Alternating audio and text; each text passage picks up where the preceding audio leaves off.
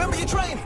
Alright guys, first of all, and this is kind of a quick reminder, since we actually never mentioned this one before, developers behind the one and only Mutant Year Zero about just a few weeks ago came out and announced a tactical adventure game, well, what they described later to be a tactical turn-based role-playing game set in a post-apocalyptic America named Miasma Chronicles. Here's the reveal trailer, the game's set to be released early to mid next year and coming to PCs, PlayStation 5 and Xbox Series X only.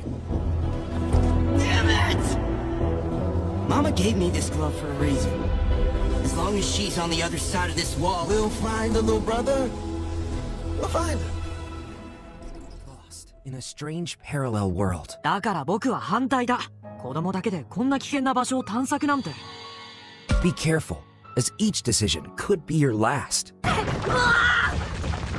Using your phone, uncover strange anomalies in this new world as you try to piece together a mystery. Alright, just in case you missed out, Bandai Namco actually just came out with some more on Digimon Survive, released a new trailer, said the game launches in Japan July 28th and worldwide the next day. Digimon Survive, in case you're wondering, is described by Bandai as a hybrid visual novel and a tactical role-playing game, the story of which this time around revolves around a student on a school camping trip. Check it out, the game's eventually coming to all consoles consoles and also PCs. They must trust one another.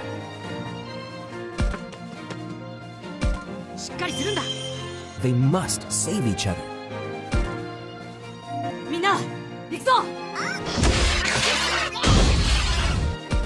They must survive.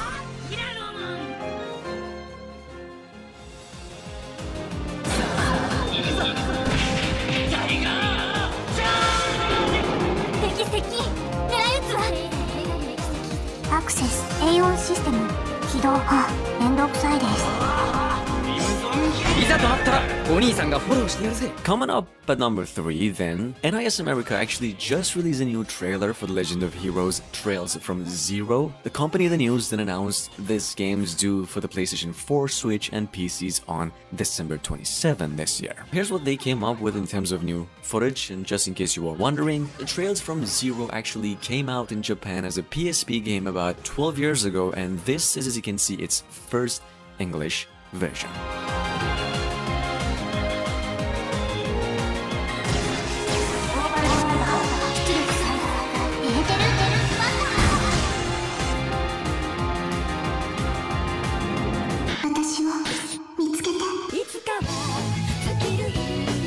この街が大好きよでもたまに弱々しくもなあ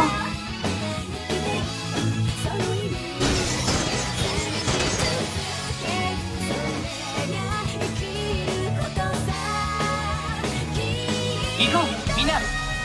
俺たちならきっと壁を越えられるはずだ。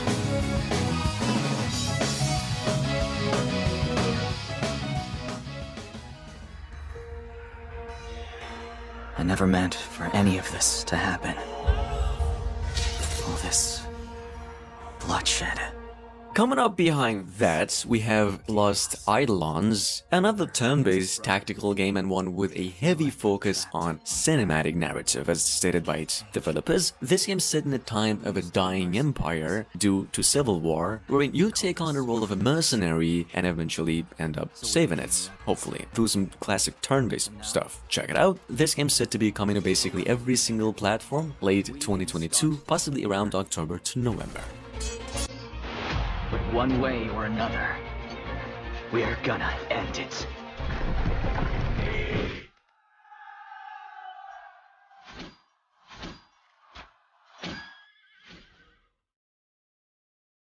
I'll do whatever it takes to bring my people home. And no king, no friend, nothing will stop me!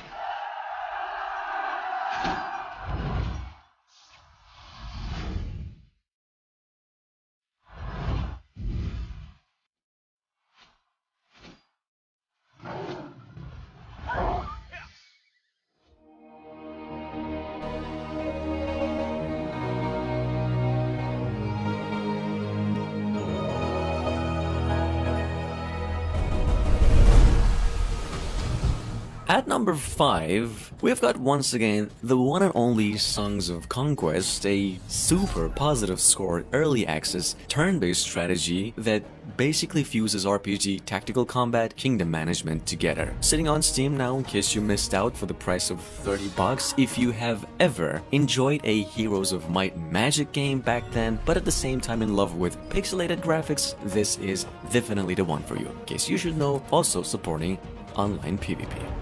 Here.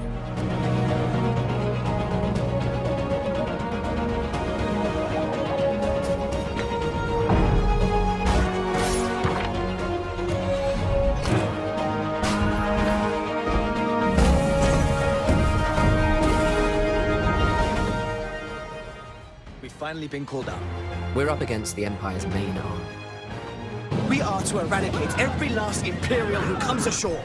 See, earlier in March this year, Square Enix then came out and announced a new IP called The DioFields Chronicle, what they described to be a deeply strategic role-playing game created by a team of strategy veterans from different eras and taking cues from games like Fire Emblem Three Houses. Here it is now, all we know though is that this game is releasing later this year and on its way to PCs, consoles, and also the Nintendo Switch. This is our chance while they're all assembled. We should send our best and crush them. That's right. All the more reason to avoid bloodshed.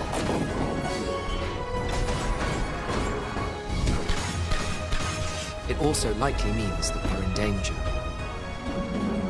I suppose it is the only way for us to survive.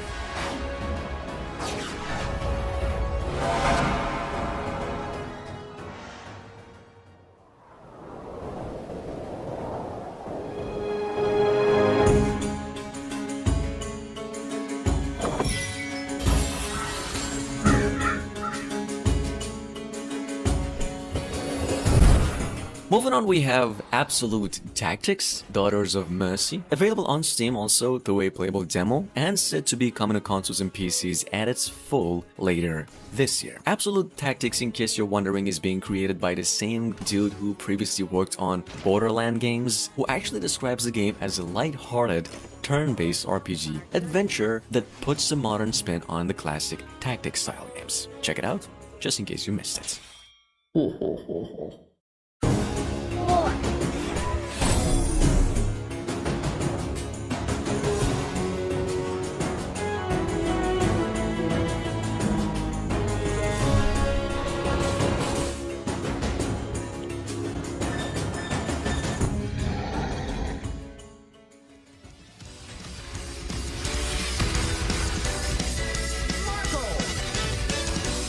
So Metal Slug Tactics, on the other hand, well technically a sequel to what y'all came to know through the past couple of decades as a series of run and gun games, is also making a return, and this time the combat is as you can see combined with elements of roguelike and role-playing games. Graphically, the game as you can see looks just the same if not actually better, albeit with a tactical approach and incorporating all characters and storylines from the series' history. Check it out, this game is releasing for PCs and Switch sometime later this year.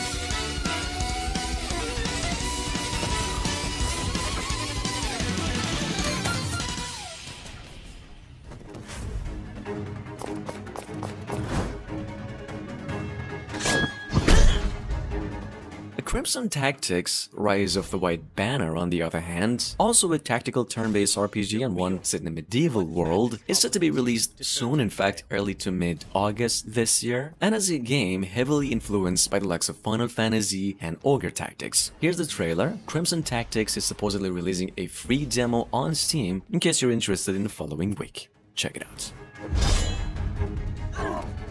Come, let the wolf bare his fangs!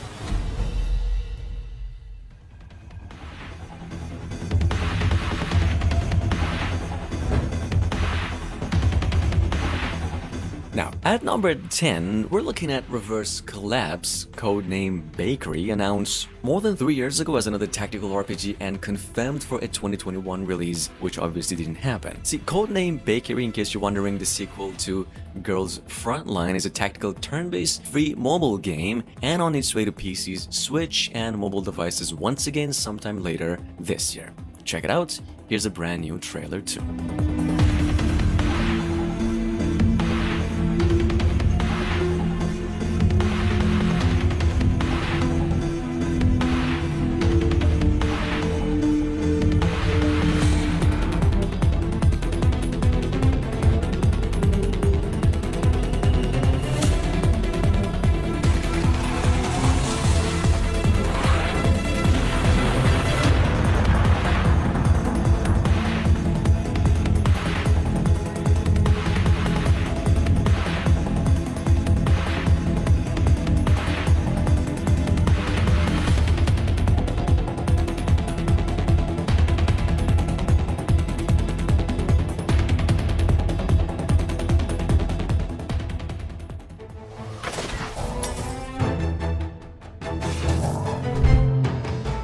Coming up behind that, we've got Tyrant's Blessing, a tactical turn-based game where, as stated by developers, your ability to plan, adapt, and strategize is just way more important than leveling up or just anything else for that matter. Honestly, not really much to talk about with this one, except this game's available through a demo on Steam and set to be coming out to PCs only late 2022, possibly November. Check it out.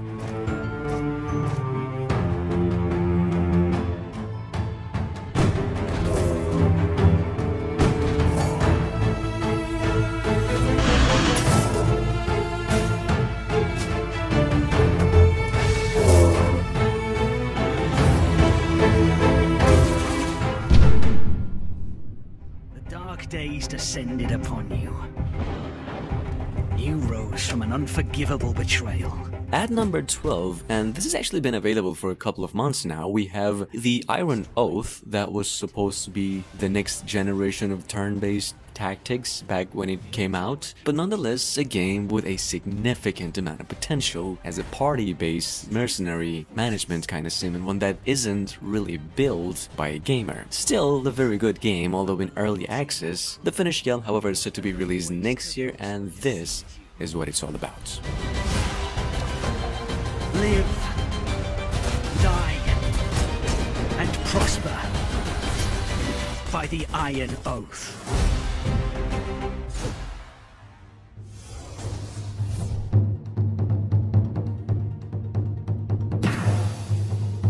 Alright, coming up next, it is Untamed Tactics, a narrative-driven tactical role-playing game where you play technically the memories of a retired rabbit named General Greycoat, and basically live through Greycoat's past in as you can see an asymmetric two and a half dimensional tactical battle. Learn stuff and eventually get to be the leader of a town of free animals. Here's a trailer. This game is available also on Steam through a demo only and set to be released early to mid next year.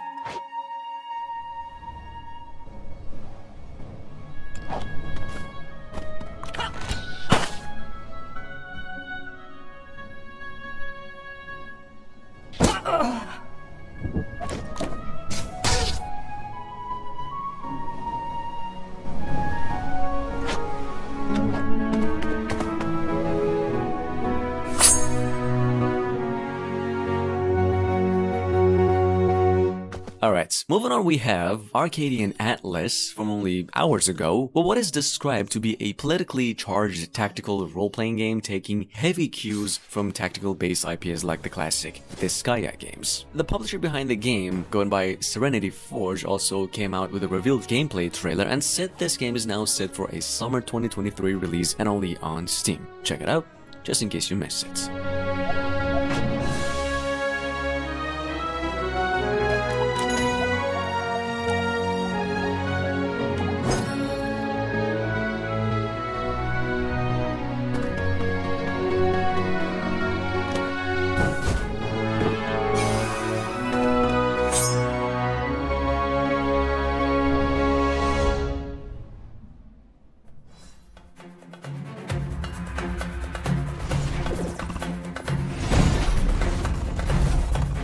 And last but not least, we've got Warriors of the Nile 2, a turn-based strategy roguelite that came out with first two years ago, where once again builds up on the original version framework where your warriors are equipped with a more unique combat style, according to developers, and also get to fight against the Roman army. Check it out, this game's actually setting on Steam with a playable demo and set to be released in its full by the end of 2022.